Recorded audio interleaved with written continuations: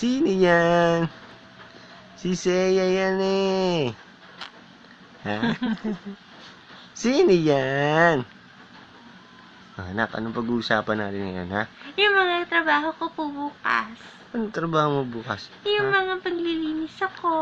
Didinisan mo yung cabinet, ha? Ihagis kita doon. Linisan mo, ha?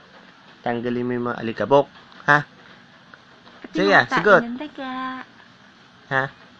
Tapos, itong mga ano dyan, mga tao dyan, may butas dyan, lagyan mo ng masilya, ha? Dapat walang butas, ha? Ha? Ha? Sige. Ha? Ito, iiyak yung pag Sige ilalapit ko. Ha? Sagot! Di? Di? Di?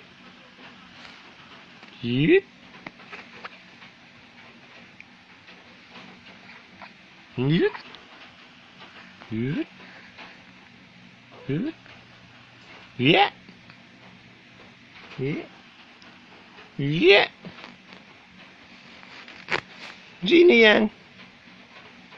Kasi, ya, pakibanlawan na rin yung mga damit sa baba. Tapos Saya. ng bandong mo, tapos Tututin mo, ha? sampay mo, ha?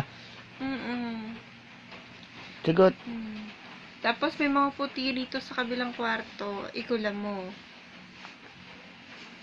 Pagkatapos nun, saya, ha? Masayin mo si daddy. Uh, pagkatapos nun, pwede ka na magpahinga. Pero habang nagpapahinga ka, ipagluto mo kami na makakain. Hindi mo. Grabe si mami, mas malalo pala siya. Kasi ko daw magpahinga, pero pagluto daw ng pagkain. Saya.